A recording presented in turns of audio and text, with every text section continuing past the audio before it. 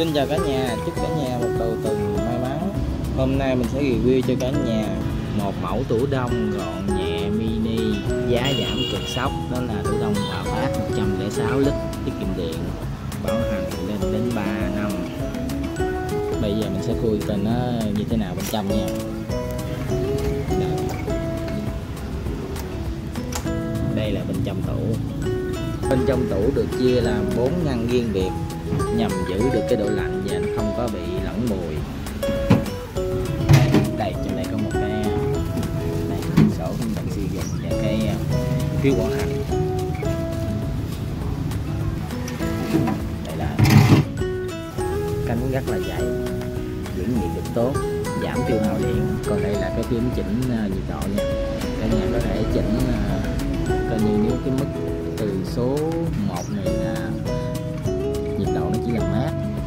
số 2 này là nó nó là đông mềm. Còn từ số 3 trở lên là đông cứng. Và tùy theo ờ, độ nhiều độ ít thì mình sẽ dặn cao lên hơn.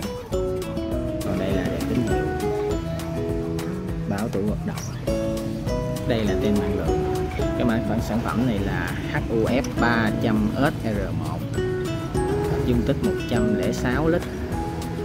À, công suất là 100W trên giờ đây là hộp máy. Lọc máy.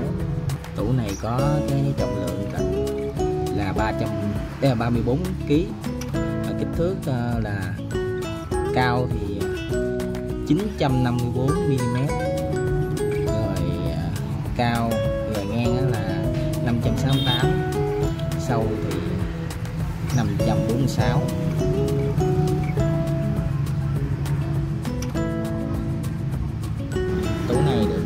30 tháng. Cao hơn các cái hãng khác các hãng khác thường thì chỉ 24 tháng thôi. Còn đây là có hành 30 tháng có hành dài lâu yên tâm sử dụng như cái nhà. Hiện tủ này nó đang có cái chương trình giảm giá. Giá bán hiện tại là ờ, uh, 6 triệu 9 nhưng mình đang làm giảm giá. Giá giảm sốc chỉ còn 4 triệu rưỡi là mình tiết kiệm 2 triệu tư chỉ có một tủ duy nhất.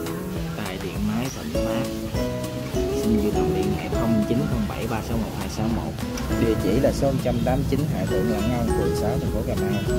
Bên mình có hỗ trợ góp qua ngân hàng và vận chuyển miễn phí. Mong ủng hộ.